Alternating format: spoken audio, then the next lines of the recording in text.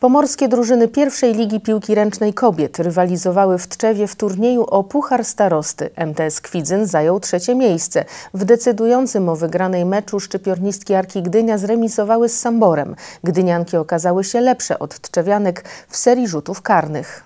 W grupie A pierwszej ligi obok Sambora rywalizują trzy zespoły z Pomorza. Na turniej do Tczewa przypadający na tydzień przed rozpoczęciem rundy rewanżowej zaproszono dwa z nich. MTS Kwidzyn i niepokonanego lidera tych rozgrywek Arkę Gdynia. W pierwszym meczu Tczewianek przeciwko MTS trener Bartłomiej Pepliński wystawił do boju mniej doświadczone i młodsze zawodniczki.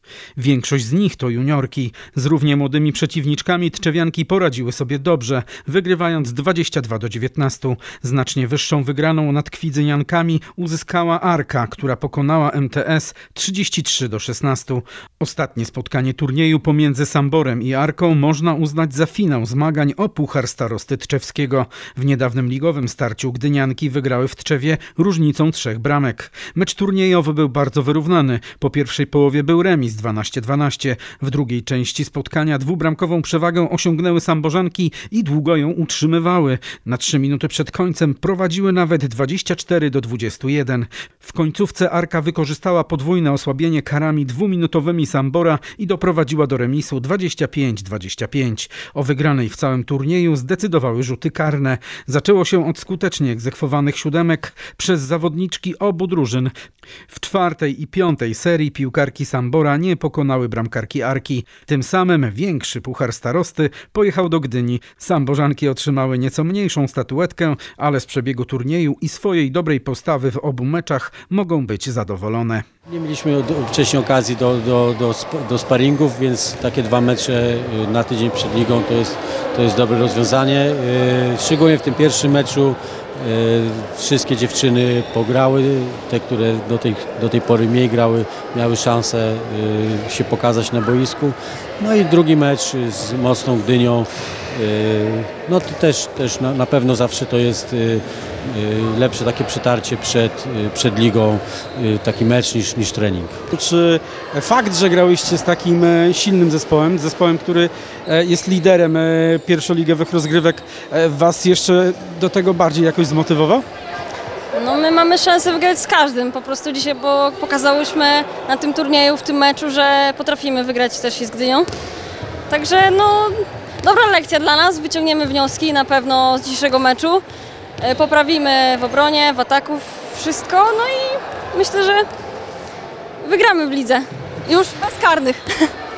Ale ten mecz był bardzo wyrównany i tak no, moim zdaniem straciłyście szansę na zwycięstwo, bo ta druga połowa toczyła się pod wasze dyktando. E, miałyście to, to dwubramkowe prowadzenie niemal non-stop i dopiero w końcówce rywalki odrobiły. No nawet było na trzy punkty przewagi. No szkoda tej końcówki, no zabrakło po prostu i może i sił i, i trochę doświadczenia też dziewczyn. No ale ja się cieszę, że ten mecz tak y, wyszedł, bo i dla kibiców było dobrze i, i dla nas też. Ten duet y, Kasia Zduniak y, i Wiktoria Nobis, no to tutaj dzisiaj nam się bardzo podobał. Yy, tak, tak. Widać było tutaj takie, takie nowe rozwiązanie gry w przewadze yy, wprowadziliśmy i, yy, no i dziewczyny mam nadzieję, że, że uwierzą, że to rozwiązanie jest skuteczne i że po prostu że, że, że tą akcję jakby po, po, polubią i, i będą, mogły, będą ją stosowały z, z, z, takim, z takim rezultatem jak tutaj. Czy Wiktoria była dzisiaj najlepszą strzelczynią naszej drużyny?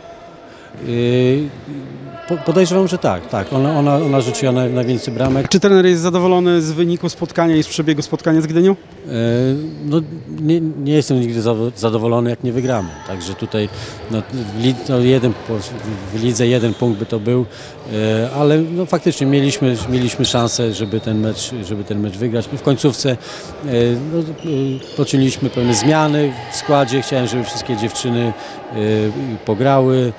Także może to też zadecydowało trochę, ale dziękuję całej drużynie za, za walkę, za, za te 50 minut walki. No szkoda w końcówce, że, że, nie, że tej akcji ostatniej nie wyprowadziliśmy, mieliśmy jeszcze szansę, y, żeby, żeby w regulaminowym czasie zdobyć gola, no ale nie udało się i stąd te karne. No, bardzo się wspieramy, to widać i w szatni, i na treningach, i na meczach, i jak jedziemy na mecz, i wszędzie, po prostu jesteśmy zgranym kolektywem, także to plusuje na boisku na pewno.